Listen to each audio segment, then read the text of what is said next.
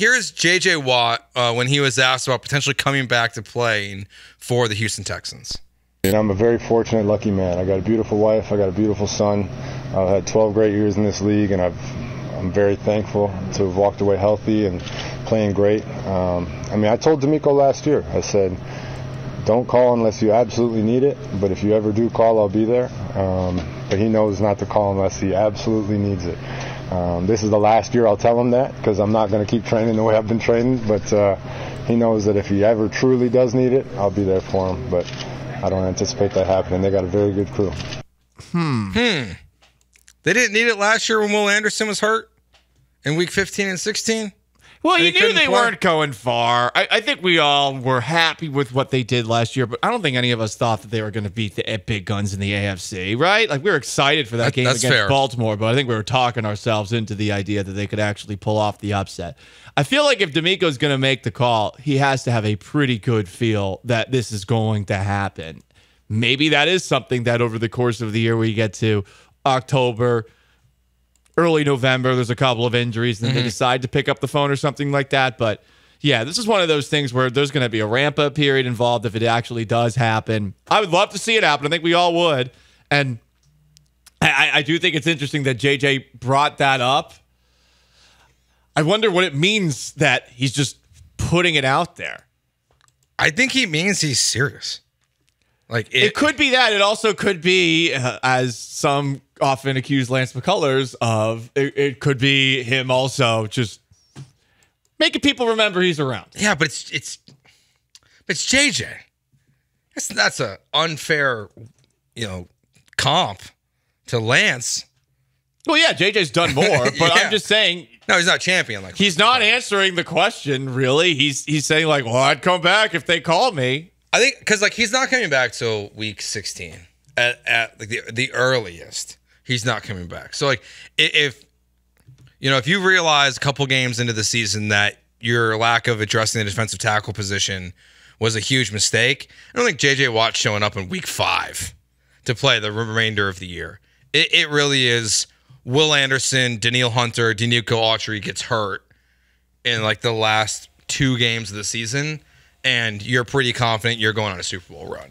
And JJ Watt's going to come be Superman. Honestly, you might not even need an injury. Like if they're legit Super Bowl contenders this year, maybe it happens, but Is JJ allowed to call DeMeco? Hmm. What do you mean?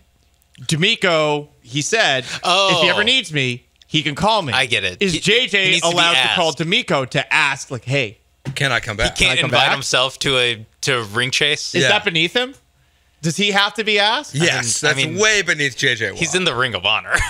yeah, like he's not gonna.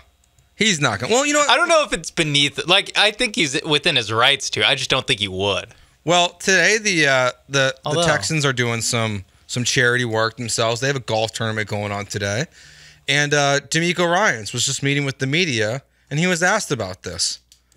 I love to hear JJ saying he's ready. I got got his number ready to go, just in case we need him. Uh, JJ yeah, playing in his softball event this past weekend. It was it was fun to see all the guys. JJ looks good. He's in shape. He's ready to roll. So I may need to make that call. So I'm happy that the, that, the, that it's open from him.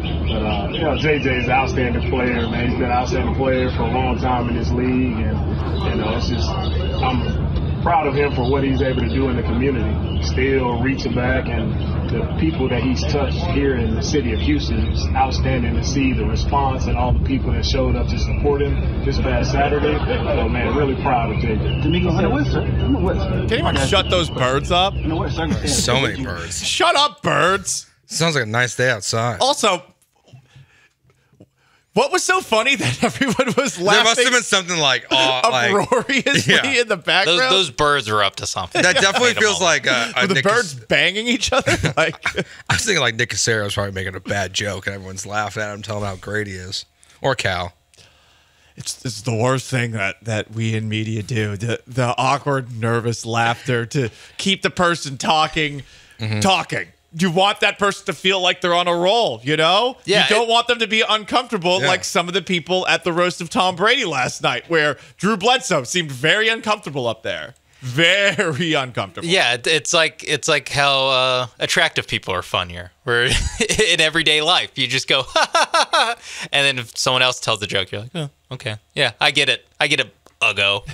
uh, you know, if if JJ Watt really wanted to, uh, because he he mentioned how he wants to help the t- team. DeMeco mentioned that he's very charitable and he wants to help the community. Can JJ Watt play third base? Oh, I mean, he's played hockey before. He was pl- he was taking hacks at uh That's true. at Sugarland. Big you know who guy. else was taking hacks in Sugarland not too long ago? Joey Loperfido. That's true. He's a big guy. He's very good at deflecting passes. He's big, so you So, know, hot def- corner. He can- Defensively, we feel good. He looks like someone who'd be good at baseball in the late 90s. I was, I was gonna add that caveat Mark as well. Mark McGwire. Yeah. he looks, We're not suggesting he's he doing looks like. Rafael Ma- Pun- uh, Palmeiro. Yeah, we're just saying. I mean, he's he's got that physique. he's working out. He's mentioned I'm, you know, in a couple years, I don't know if I'm gonna be working out the way I'm working out. Yeah, he's still ready. He's still in game shape. He he's hitting softballs at the celebrity Yeah. softball game. They're probably going far. Uh, from the 281, beneath him, question mark, he wore a Letterman's jacket. That's not nice. Too soon, man. That, I did realize that I was giving JJ Watt, JJ Watt a lot of credit, which really does show how just kind of like laying low for a while really helped. I guess part going to Arizona really helped his uh, PR because I forgot. You know what? It's, there is no such thing as beneath JJ Watt. He's all he's all he was at least he was this guy who was always trying to you know I don't know I might yeah I don't know I love he loved putting his name out there on stuff so He did. it would make sense. This is another text from the 409 Josh. I don't think JJ will restart his Hall of Fame clock. Uh uh That's actually the reason to do it. Yep. You're going into the Hall of Fame the same year as Tom Brady. Do you want that? I think everybody would like to have their own special birthday party. You don't want a shared birthday party with someone who's more popular than you. I honestly, I kind of agree with that. Like, I don't want to go in with Tom Brady. Who would? It, The weekend's not about you. Sorry. like, you're already officially not the first Texans Hall of Famer. That honor is going to Andre Johnson. boom And you're going to be covered up by Tom Brady the whole weekend.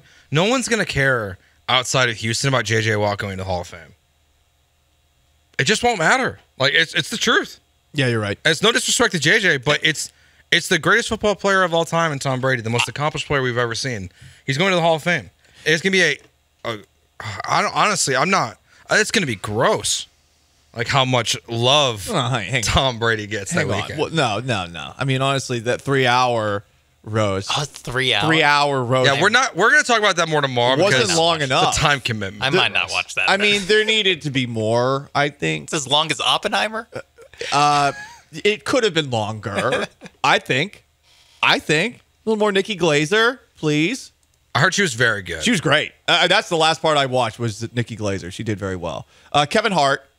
Uh, you know, look, comedy is subjective. I'm not the biggest Kevin Hart fan. I'm not either. I, I I felt like Kevin Hart was was, and I don't know what the point on a roast like who's supposed to be very good at it. He's just he's the the famous headliner that was steering the ship. the MC Right. Instead, because it used to be Jeff Ross who did it. Jeff Ross, to his credit, like he came in wearing a uh, OJ Simpson jersey that had blood on it uh, and a glove. So uh, that was interesting. But Oh. they had Kevin Hart steering the ship, and I, I don't know. He, he didn't he didn't seem like he prepped. Is what I'm trying to say. Gotcha. Seemed like he, just showed he embraced it, the Okay. he embraced the live element of it too yeah, much. yeah, one hundred percent. It felt like he had no preparation at all before, and just come saying like "bleep you, Tom Brady," like that. That was it. I was like, okay, g- come on, you've said that four times now.